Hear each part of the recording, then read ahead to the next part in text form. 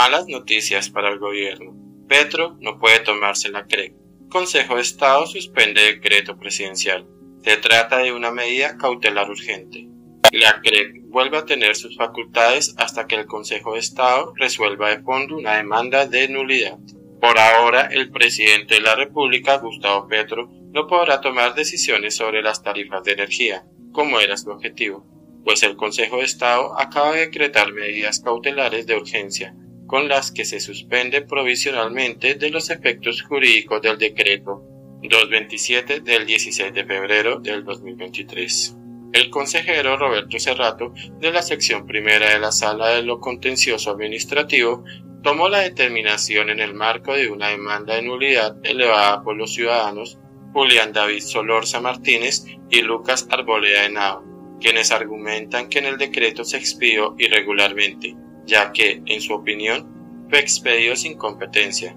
con falsa motivación, con infracción de las normas superiores y tampoco tuvo en cuenta el principio de publicidad. Luego de analizar todos los argumentos de los demandantes y la jurisprudencia existente, la sección primera determinó que es necesaria la medida cautelar para que el presidente Petro no tome decisiones para las que no estaría facultado. La idea con una medida cautelar es mitigar la gravedad de las consecuencias que se derivan de la aplicación del acto demandado, proporcionalidad de la decisión, atendiendo que el trámite que ordinariamente debe impartirse no proporciona la celeridad requerida para garantizar una justicia oportuna y, con ello, efectiva. No es competencia de Petro. En la primera revisión, los togados encontraron que, abro comillas, la función de regulación del régimen tarifario de los servicios públicos fue asignada directa y expresamente al legislador en los artículos 150, 365,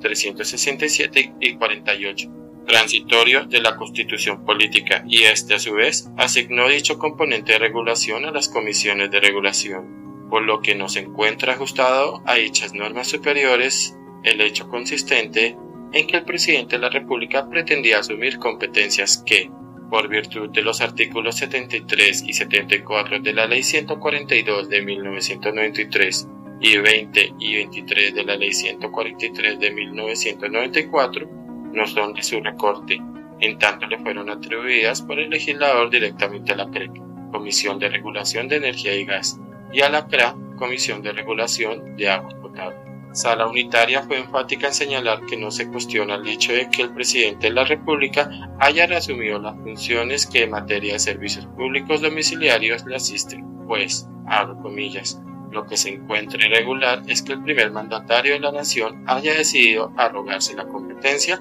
para regular el régimen tarifario de los servicios públicos, rol funcional que, por expresa disposición constitucional, le fue conferido al Congreso de la República corporación que, en ejercicio de su libertad de configuración legislativa, consideró pertinente asignar el trámite técnico y operativo de la fijación de dichas tarifas a las comisiones de regulación. Julio César Vera, presidente de la Fundación SWA Energy, manifestó que la decisión muestra que en Colombia existe un equilibrio de poderes y una independencia de las diferentes ramas del poder, en especial la judicial. En ese mismo sentido, Inés Elvira Belga, partner de Holland at Night, dijo que la medida cautelar decretada es importante no solo por la necesidad de suspender una medida que a todas luces será negativa para la estabilidad del sector eléctrico, sino porque transmite un mensaje de solidez institucional que en este momento es urgente. Que los jueces fallen en derecho y defiendan el ordenamiento jurídico es una garantía para el sano funcionamiento de la democracia.